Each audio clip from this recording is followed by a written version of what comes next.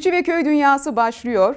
Bu hafta sera tarımı için Mersin'deydik sevgili seyirciler. Sera bahçesinin tesisi, üretimde ve pazarlamada yaşanan sorunları görüştük üreticilerimizle.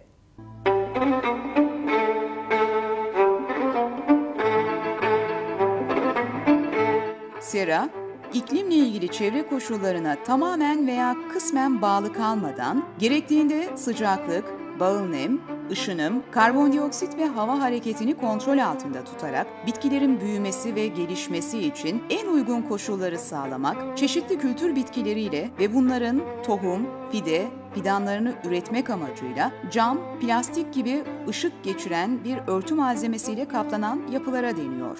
Sebze ve çiçeklerin yetişme, gelişme ve büyümeleri için çevre koşullarının uygun olmadığı mevsimlerde taze sebze ve çiçek yetiştiriciliği ancak bu bitkilerin uygun koşullarının yaratıldığı seralarda sağlanabilir. Sera kısaca iklime bağlı kalmadan bütün yıl boyunca ekonomik olarak sebzeciliğin ve çiçekçiliğin yapıldığı tesislerdir.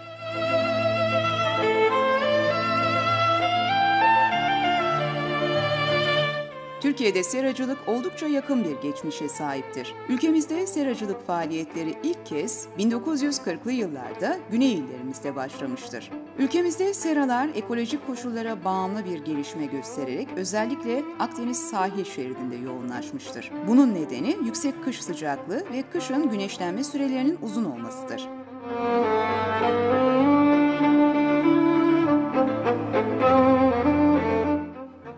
Yıllarda yavaş gelişmesine rağmen büyük tüketim merkezlerine kolay ve çabuk ulaşımının sağlanması ve örtü materyali olarak plastiğin kullanılmasıyla hızlanan örtü altı üretimi geçmiş yıllara göre daha da gelişmiştir. Günümüzün modern dünyasında her mevsim sağlıklı sebze ve meyve edinme isteği, seracılığı en önemli tarımsal etkinliklerden biri haline getirmiş. Burada yetişen ürünlerin kaliteli ve sağlıklı olması günümüz standartlarında çok önemli bir hale gelmiştir.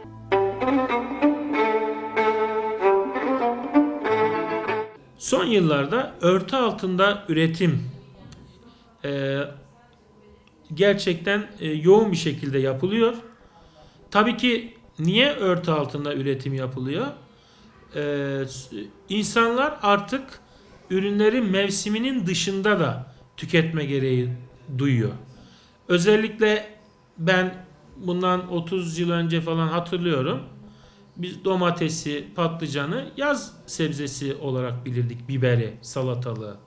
Ama baktığımız zaman artık e, Kasım Aralık ayında, Ocak Şubat ayında tam e, hani derler ya zehmeri, soğuğun, kışın olduğu dönemde bile biz e, artık bu sebzeleri tüketiyoruz. Buna bir ihtiyaç vardı. İşte örtü altında üretim bu şekilde ortaya çıktı. Mersin'de e, özellikle Akdeniz bölgesinde yoğun ilçesi bölgemizde yoğun sera üretimi yapılıyor. Burada örtü altında yani seralarda e, 50 bin dekar alanda e, 20 bin dekarımız yani toplam 50 bin dekar e, sera e, alanlarımız var. E, birinci sırada biber geliyor 20 bin dekarda. İkinci sırada domates, hıyar, patlıcan bunlar e, 10 bin e, dekar düzeyinde yapılıyor. Toplamda 50 bin dekar e, serada üretim yapılıyor.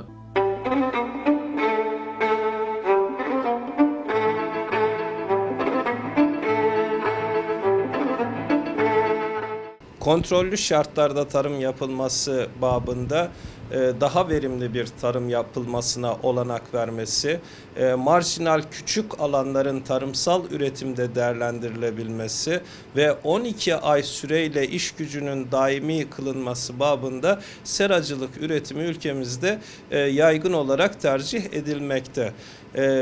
Ülkemizde 1940'lı yılların başlarında seracılığın İzmir ve e, Antalya bölgesinde yayılmaya başladığını görüyoruz. Ancak e, 1940'da 60'lı yıllarda pek hızlı bir gelişim sergileyemedi. E, Neden? Tam deneme amaçlı bir başlangıçta.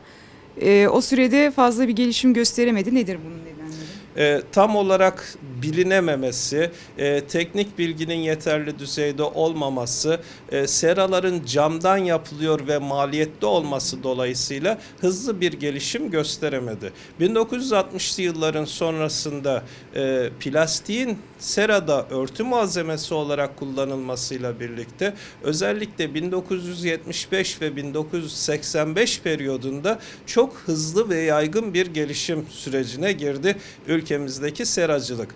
Bu alanda üretim yapan insanların e, nasıl bu safhaya seracılığa dahil olduğuna baktığımızda genellikle babadan kalma meslek olarak %70 oranında bir e, tercih ediş görüyoruz. E, kendi tercihiyle bu alana girenler %26 gibi bir oran oluşturuyorlar ve diğer kalan kısımda seracı komşunun teşviğiyle bu alanda üretime girmiş olan kişiler. Akdeniz ve Ege'de başladı dediniz. Ee, daha sonraki yaygınlığı da kalıcılığı da yine aynı bölgeler içerisinde. Ee, daha yoğun bir şekilde görüyoruz sera bahçelerini. Bunun nedeni ekolojik koşullardan dolayı olsa gerek. Ee, ülkemizin e, sıcaklık ve güne, güneşlenme periyodu açısından baktığımızda e, özellikle seracılığa en uygun bölgelerinin Akdeniz ve Ege bölgemiz olduğunu görüyoruz. Ancak bugün e, Karadeniz, İç Ana- Anadolu, e, Güneydoğu Anadolu ve Marmara'da dahil olmak üzere ülkemizin dört bir tarafına yayılmış vaziyette.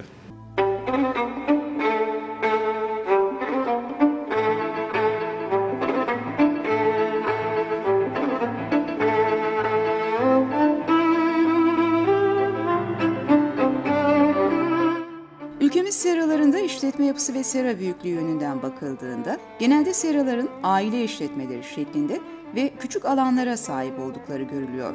İşletmelerin küçük ölçekli oluşu, teknoloji kullanımını sınırlamakta, işletme bünyesinde tarım eğitimi almış bir kişinin istihdamı mümkün olmamakta ve babadan kalma yöntemlerle devam etmektedir. Burası modern bir sera.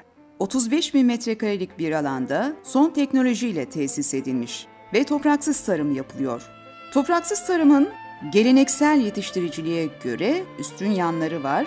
Toprağın bulunmadığı veya kalitesinin üretim için yeterli olmadığı yerlerde topraksız tarımla yetiştiricilik yapılabiliyor. Toprak yoğunluğu ortadan kalktığı için aynı yerde arka arkaya aynı ürünler yetiştirilebiliyor. Toprak kaynaklı hastalık ve zararlarla yabancı otlar sorun olmaktan çıkıyor, su ve besin maddeleri etkin bir şekilde kullanılıyor, su ve gübre kullanımı azalıyor.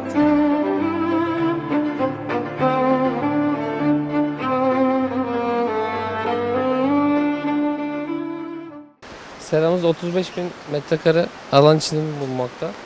Ama e, topraksız tarım tabii ki gördüğünüz gibi. Seranın maliyetine geldiğimizde maliyetli ama diğer seralardan daha fazla ürün ve daha fazla kalite alabiliyoruz. Nedir özellikleri? Diğerlerinden farkı ne? Diğerlerinden farkı e, yer örtüsü, Topraksız tarım topraksız tarım burada. olması. Nedir? Her şey- Topraksız tarım anlatır mısınız bize? topraksız tarım. Bu perlit dediğimiz maddeler içerisinde bunlar taş, volkanik taş. Bakabilir miyim?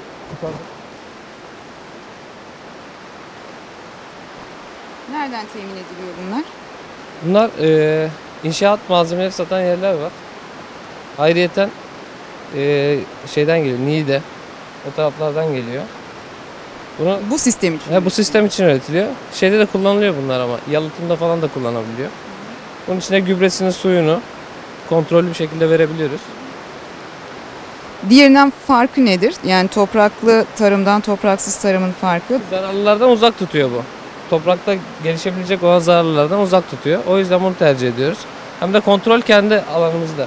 Buralarda suyun pH'sını, EC'sini ölçebiliyoruz. Daha kolay. Ne verdiğimizi, ne çıktığını. Bu borular ısıtma borusu. Ayrıca arabalarımız yürüyor onların üzerinde. Kalorifer sistemi. Kalorifer sistemiyle ısıtıyorsunuz. Evet. Nedir bu ısıtma sisteminin maliyeti? Yıllık. E, kömür çok maliyetli olduğu için yani 200 milyar civarında kömür kullanmak zorunda kalıyor. Kalorifer sistemi kömürle mi çalışıyor? Evet kömürle Yakıt çalışıyor. olarak. Yakıt olarak kömür kullanıyoruz. Ee, çelik konstrüksiyon görüyoruz. Bu örtü malzemesi nedir özelliği? Diğerlerinden farkı ne? Diğerlerinden farkı havada oluşan rutubeti engellemesi ve güneş ışığını hani yazın yaza doğru yaza girdiğimiz zaman yazın tabi bu sera olmuyor ama yaza girdiğimiz zaman ısıtma güneş ışınları zararlı ışınları içeri girmemesini sağlıyor. Ayrıyeten de sıcak havayı içeride tutuyor. Soğuk havayı dışarı göndermiyor. Nemlendirmeyi nasıl sağlıyorsunuz? Nemlendirmeyi e, konstrüksiyonlarda şey var. Otomatik olarak şeye bağlı. Seranın otomasyonuna bağlı. Kendi açıp kendi örtüyor. ihtiyaç durumunda. Havalandırmayı nasıl? İhtiyaç duyduğu nem miktarı %70-75 civarında. Onu da makine otomasyonu otomatik olarak ayarlıyor. Bu toprakların her yıl değiştirilmesi gerekiyor mu? Evet. Her sezonda, değiştirilmesi üretim sezonunda. evet.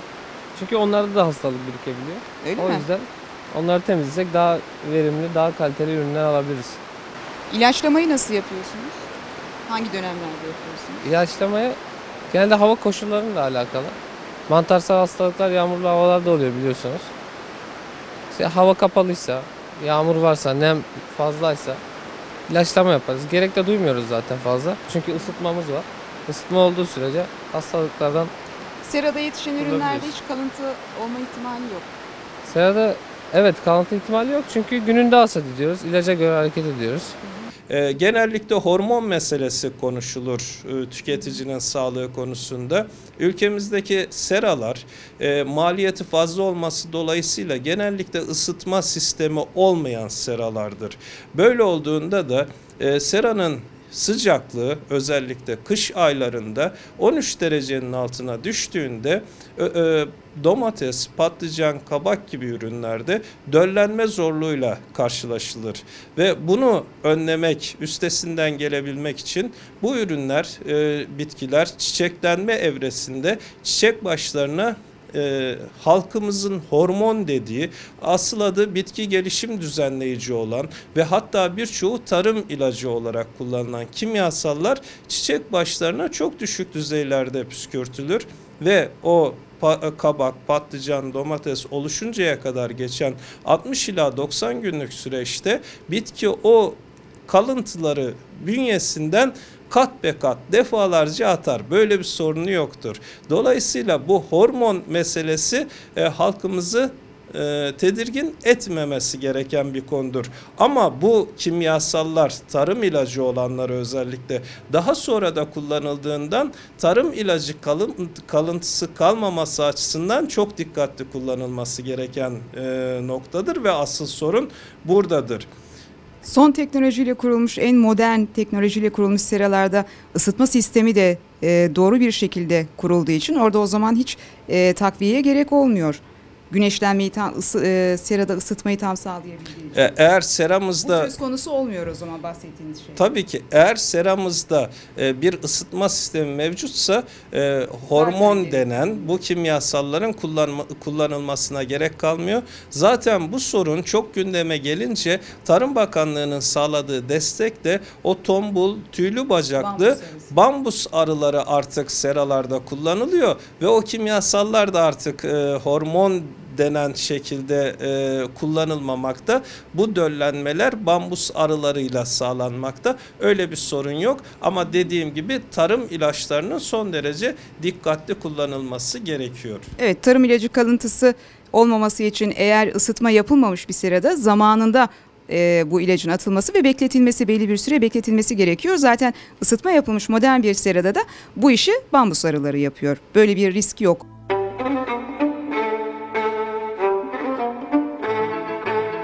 Şu an gördüğünüz yer 18 bin metrekare. Ee, biber şu an e, dönüm bazında 2250 ağaç gelecek şekilde ekiliyor. Domatesde ise 2850 olarak dönümde. Bölgede toprak daha çok şey biber üretime daha elverişli olduğu için biber dikimi yapıyoruz. Tabii artık yavaş yavaş değişikliklere başladık. Yani domates olsun, kokteyl domates olsun, Macar dolması, diğer yani kapya biber, patlıcan. Onlar da yavaş yavaş deniyoruz topraklarımızda. Ben mesela sera bahçesi kurmak istiyorum. Evet. Ne yapmam gerekiyor? en başında? En başında ilk önce toprağı bir analiz etmeniz gerekiyor. Yani sonuçta bu açık alanda yaptığınız bir tarım değil. En azından bir toprağına bakın. Sera yapmaya uygun bir yer mi? Ve bunun demir aksamı almanız gerekiyor. Demir ustası bulmanız lazım. Serayı kurabilmeniz için. Artı daha sonra bir sera örtüsü üretimi. Soğuk havalar için yağmurlama. Yağmurlamaları yapmamız lazım. Yağmurlamanın yapmamızdaki amaç soğuk havalarda eksiye düştüğünde en azından artı 2-3 derece içeriye bir ısı, buhar sağladığı için yağmurlama sistemi önemli.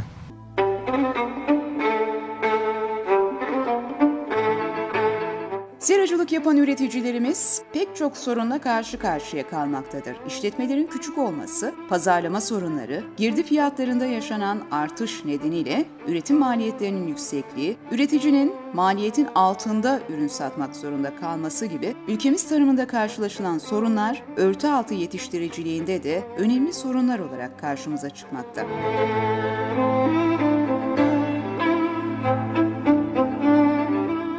Maalesef örtü altında üretim yapan çiftçilerimiz son yıllarda e, gerçekten çok zor durumdalar. Deyim yerindeyse üretimden vazgeçecek e, duruma geldiler. E, ama yine üstüne basa basa söylüyorum. Son, son 6-7 yıldır oluşan e, ürün fiyatları maalesef e, üreticilerimizi üretimden e, uzaklaştıracak, üretimden vazgeçirecek hale getirdi. Mersin'de bu yıl e, öyle e, sorunlar yaşandı ki örtü altında. Buna da değinmeden geçemeyeceğim.